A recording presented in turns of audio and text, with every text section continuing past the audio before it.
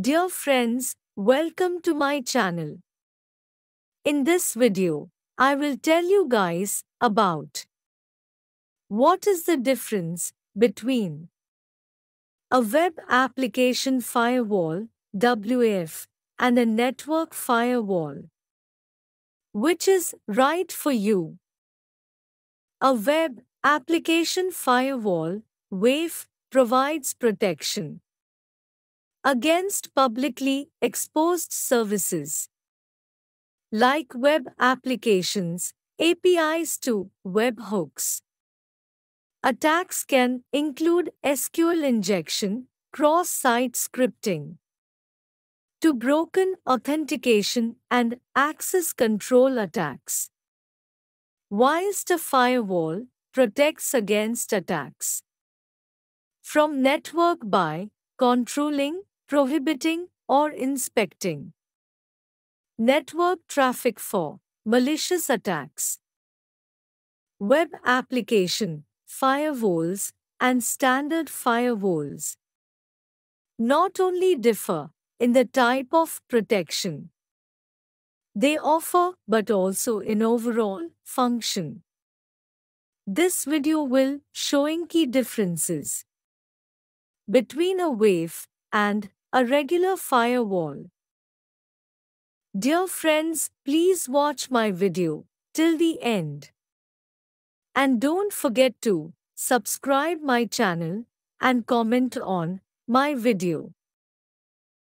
WAF Web Application Firewall versus Firewall Understanding Security Threats and Defenses Businesses must understand their security threats and defenses in the age of sophisticated cyber attacks and digital innovation. This applies in particular to firewalls that protect groups from different attacks. You must know how to avoid attacks by web and network. WAF and firewall have different levels of application protection. As they differ in design, function, operating location. Both WAF and firewall also has different kind of protection offered in application level. As firewalls operate in levels 3 and 4 in the OSI model. Focus of protection permits minimal attention to the application level, which allows firewalls to on transfer of data between networks. On the other hand, a wave's primary function is to protect Application layer, level 7 of the network. Thus providing security to entire application layer of network. This application layer includes applications, servers, software and interfaces with which the user has direct access to network. WAF versus firewall. Difference between application and firewalls at the network level. By targeting traffic from the Hypertext Transfer Protocol HTTP, a wave protects your web applications. This is different from a standard firewall where external network traffic is blocked. A WAF is configured to examine all HTTP traffic between external users and web applications. It detects and prevents malicious applications from gaining access to users or web applications. This protects WAFs against non-day threats and other app layer attacks on mission-critical web applications, and web servers. This is becoming increasingly important as businesses embark on new digital initiatives, exposing new web applications and APIs to attack. A web firewall prevents unauthorized access to a secure local area network, reducing the risk of an attack. Its main objective is to separate a secured area and control communications between the two from a less secure zone. Without this, any computer with an IP address is accessible from outside the network and accessed. Traffic on the network versus traffic on the application. Traditional network firewalls are used to protect private networks from intruders. The firewall policies in place deny other attempts to connect to the network. Unauthorized users and attacks from users or devices. In less secure zones are examples of network traffic. A WAF is designed to target app traffic. It protects HTTP and HTTPS traffic and applications in network zones exposed to the Internet.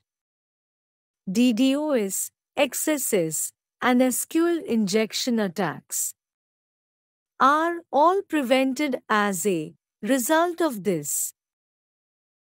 Unauthorized access versus web attack. Web based attack protection against wave solutions. Without an application, firewall, hackers could infiltrate the LAN. Waves protect against web attacks like flooding a network or server with internet traffic. It depletes the target's resources and is undetectable. SQL injection allows hackers to take over a web application's database server. Attackers can retrieve the SQL database's content and add, modify, and delete records without authenticating. With a SQL injection, hackers can access customer and intellectual property data. It was the top 10 worst threat in 2017. Cross-site scripting allows hackers to compromise user application interactions. It bypasses the same origin policy that separates websites. To access data and resources, the hacker must impersonate a legitimate user. Firewalls block unauthorized network traffic and access. Network-wide attacks on connected devices and systems are protected. A list of typical network attacks. Number 1. Unauthorized network access. Number 2. Credential theft. Number 3. VAC passwords. Number 4. Insider threats. Hackers intercept traffic between networks. Insecure communication protocols frequently allow attackers to steal data in transit, get login information, and take over accounts. Hackers gain access to a network and also access other systems. Within the same system, horizontally or vertically. Layer 7 versus 3 and 4. The main technical distinction is between application level and firewalls. Operating System Interconnection OSI model defines and standardize communication functions. Waves guard against app-level attacks. Cookie manipulation, SQL injection, and URL attacks are all examples. Browsers and servers are connected via HTTPS. The server layer generates and delivers web pages. In response to HTTP requests, with a WAF, a server's traffic is protected from malicious requests and DDoS tools. Firewalls protect data transfer at OSI model, layers 3 and 4. DNS, FTP, SMTP, SSH, and Telnet are all targets. Application Firewall versus Network Firewall have different modes of operation. WAF operates in two different modes are as follows. Passive mode Passive mode WAF operates passively, that is without action which effectively renders the application network not secure and should be used for testing use case only. Active inspection mode. In active inspection mode, a wave will continuously scan and offer protection against any kind of threat. Standard firewall also operates in two modes. Routed mode.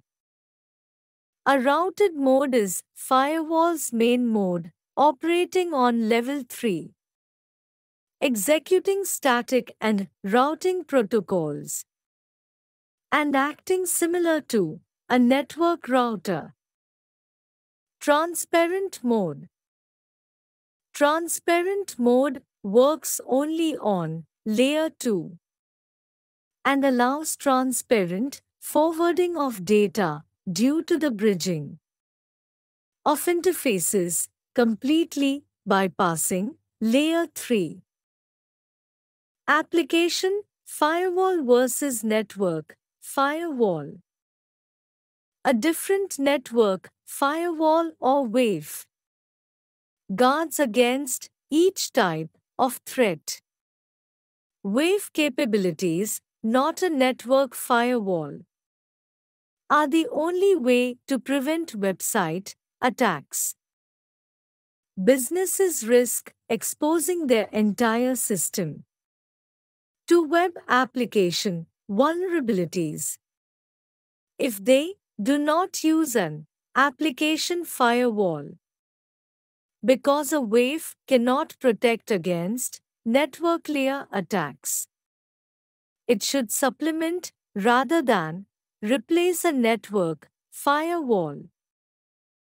Web-based and network-based solutions protect different types of traffic. Rather than competing, they complement one another. A network firewall defends against a wider range of traffic. While a wave protects against a particular threat. As a result, having both solutions is wise, especially if a company's operating systems are web-based. Conclusion Web application, firewall, WAF, and standard application Firewalls fundamentally differ in their operation and designed accordingly to provide secure and robust network infrastructure to users.